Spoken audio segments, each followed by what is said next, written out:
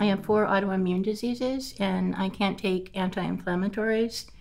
Um, I took anti inflammatories for 28 years and they controlled my symptoms really well, but then they destroyed my kidney. so now I have kidney disease and um, I can't take anti inflammatories, so I have a high level of pain. I don't really have a life anymore. Um, I sleep a lot, I'm tired a lot, I can't walk very far. I forget things easily. When I came to see Dr. Ungar, I had been on methadone for six years.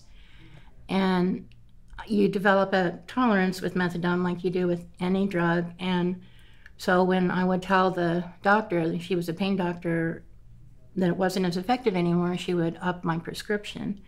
So I don't even remember the amount, but apparently I was on a very um, high dose of methadone, and the first thing he said to me was, Dr. Ungar, the first thing he said to me was, I don't prescribe methadone. It, you know, really messes up your brain. And I was very shocked because um, my primary care doctor, who I really trusted, had told me it was absolutely harmless and a great, you know, and that was what he was taught in medical school. And then eventually, you know, he referred me to a pain specialist, and she told me the same thing. Um, and he said, Well, you know, I'm a neurologist and I know what it does to your brain, and I won't prescribe that.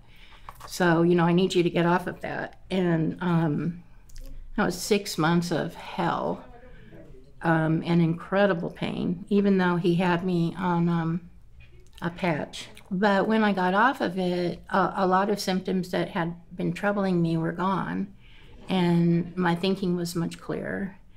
He's funny sometimes he's very irreverent.